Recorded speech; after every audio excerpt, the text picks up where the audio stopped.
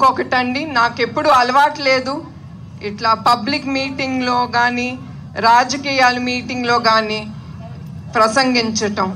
అదే నాకు ధైర్యం కూడా మీరందరు నాకు ఉన్నారని. కానీ ఒక్కప్పుడు నేను చంద్రబాబు నాయుడు గారిని నిలదీసేదాన్ని. కొంచెం కుటుంబంకి సమయం కేటాయించరని. కానీ ఇవాళ నేను చెప్తున్నాను ఆయన నా ఆయుష్ కూడా పోసుకుని ఆయన బ్రతకాలి. ఆయన మీ అందరూ చూసే మీరందరూ చూపించే అభిమానం కానీ ఆయన ప్రజలు చూపించే సహకారం కానీ ఆయన నా ఆయుష్ పోసుకుని ఆయన ప్రజలకి ఎప్పుడు సేవ చేయాలనేదే నా కోరిక. నేను సత్యమేవ జయతే అహింస అనేది నమ్ముతాను. ఆ సత్యమేవ జయతే అనే నమ్మి నేను ఈ దీక్షలో ఇవాళ నేను కూర్చున్నాను. అట్లానే మీ అందరికీ తెలుసు నందమూరి తారక రామారావు గారు ఆ బాటలోనే ఆయన తెలుగుదేశం పార్టీ ప్రజల కోసం నిర్మించారు. అట్లానే ఆయన మీ అందరికీ తెలుసు ఆయన చాలా డిసిప్లినరియన్ ఆయన నీతి నిజాయితవంతుడని. ఆ నీతి నిజాయితవంతుడి కిందనే మే మా కుటుంబం ముందుకెళ్ళింది. అట్లానే కూడా పార్టీ కూడా ముందుకు తీసుకెళ్ళారు ఆయన. నేను చాలా గర్వంగా చెప్తాను ఏనాడు మా కుటుంబం పైన ఒక కేసు కరప్షన్ కేసు కానీ ఏ కేసు కానీ మా మీద పెట్టలేదు. అది ఎందుకంటారు? అది ఆయన మాకు చంద నందమూరి తారక రామారావు గారు మాకు నేర్పించిన క్రమశిక్షణ. నా తండ్రి ముఖ్యమంత్రి నా భర్త ముఖ్యమంత్రి. కానీ మేము ఎప్పుడు రాజకీయ గవర్నమెంట్ని ఎప్పుడు దుర్వినియోగం చేయలేదు. మాకు అది అలవాటు లేదు కూడా.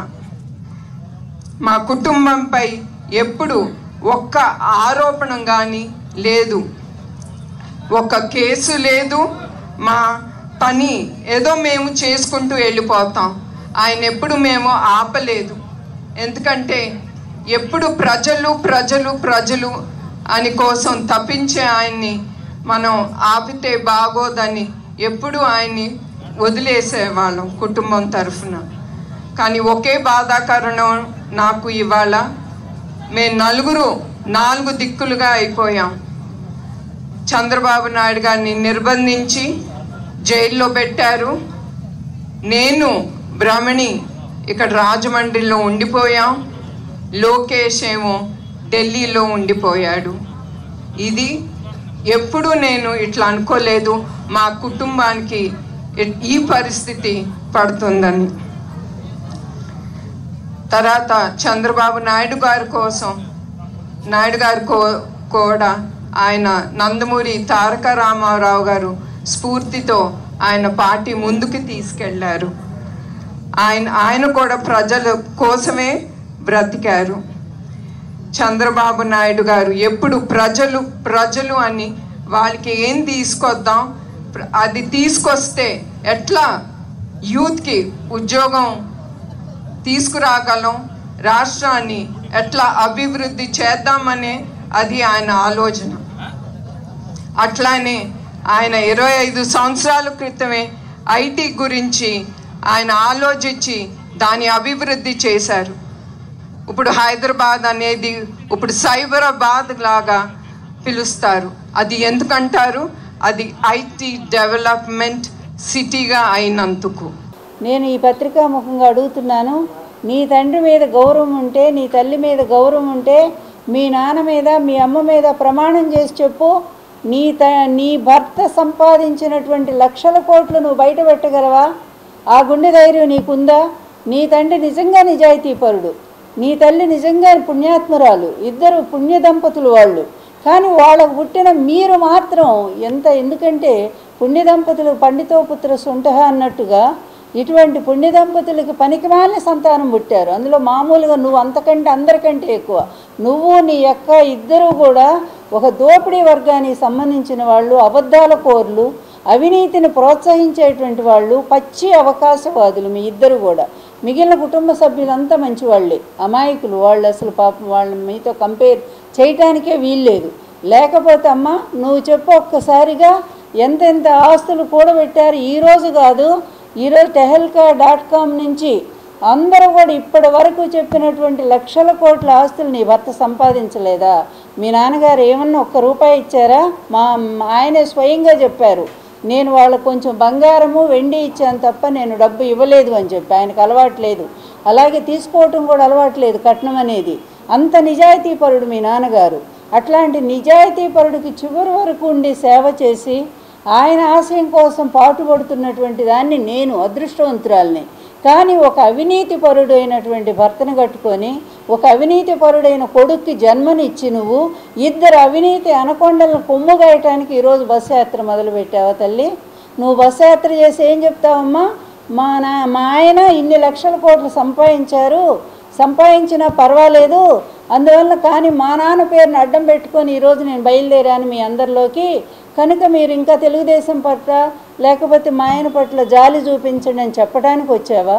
ఇదే జాలి ఇదే సానుభూతి ఆ రోజు ఒక్కసారన్నా ఎన్టీఆర్ గారి పట్ల నువ్వు చూపించి ఉంటే ఆ రోజు ఆయన ఎంత సంతోషపడి ఉండేవారు. కనీసం నా కూతురు నా వైపు నిలబడిందని. ఇక ఆయన గురించి నీ భర్తను గురించి ఎన్టీఆర్ గారు ఎంత మాట్లాడుతున్నారు అనేది ఈ మధ్య మొత్తం సోషల్ మీడియాలో చూస్తూనే ఉన్నారు కదా. నువ్వు ఇప్పుడు ఈరోజు ట్వీట్లో పాపం ట్వీట్ చేసావి అత్యంత నీతిమంతుడు మా నాన్న. సత్యసంధుడు నిజమే ఆయన చాలా నీతిమంతుడు సత్యసంధుడు అవినీతి రహితుడు నిజంగానే కూడా అంత ధర్మాత్ముడు ఆయన. కానీ ఆయన కల్లుడుగా వచ్చి ఆయన స- ఆయన అధికారాన్ని లాగేసి ఆయన ప్రాణాలని తీస్తే అతనికి అండగా నిలబడ్డటువంటి నువ్వు ఏ నైతిక హక్కుతో వచ్చి ఈరోజు మీ నాన్న గురించి నువ్వు మాట్లాడతావమ్మా భువనేశ్వరి? ఒక్క మాట చెప్పు గుండె మీద చెయ్యేసుకొని చెప్పు. మీకు ఇంత పిల్లాడు ఉన్నాడు కదా నువ్వు వాడి మీద ప్రమాణం చేసి చెప్పు. నిజంగా మీకు మానవత్వపు విలువలుంటే ఆ తండ్రి గడుపున పుట్టిన సంతానం అయితే మీరు ఒక్కసారిగా మీరు నిజాయితీగా రోడ్డు మీదకి వచ్చి ఎస్ మా ఆయన తప్పు చేశాడు. మా ఆయన శిక్ష అనుభవించాల్సిందే. ఎందుకంటే ఒక నిజాయితీ పరుడికి కడుపున పుట్టినటువంటి బిడ్డను నేను ఇతను అవినీతి పరుడు ఎన్ని లక్షల కోట్లు సంపాదించాడు. మీ లక్షల కోట్లు ఎక్కడి నుంచి ఏది మన విష్ణుప్రియ హోటల్ దగ్గర నుంచి నీ పేరుతో పెట్టిన భువనేశ్వరి కార్బైడ్స్ దగ్గర నుంచి అదేవిధంగా చెన్నైలో ఉండేటువంటి ఆస్తులు కర్ణాటకలో ఉండేటువంటి ఆస్తులు బాలాయపల్లి దగ్గర ఉండేటువంటి ఎనిమిది వందల ఎకరాల పొలాలు హైటెక్ సిటీ దగ్గర ఆ పేరు పెట్టి అమ్మన్నమ్మ పేరుతో కూడా పాపం ఏమీ లేనటువంటి ఆ పేదరాలి పేరుతో కూడా నలభై యాభై లక్షల ఆస్తులు కానీ మళ్ళీ నీ కొడుక్కే రాయించావే నువ్వు. అది తెలివిగా ఆ చుట్టుపక్కల ఉండేటువంటి ల్యాండ్స్ మొత్తం కూడా నీ పేరుతో నీ కొడుకు పేరుతో కొనేటట్టు అతి తెలివిగా చేసుకున్నావే. ఇదంతా అవినీతి కాదమ్మా. ఇప్పుడు అమరావతిలో చేసింది ఏంటమ్మా పెద్ద అవినీతి కాదా?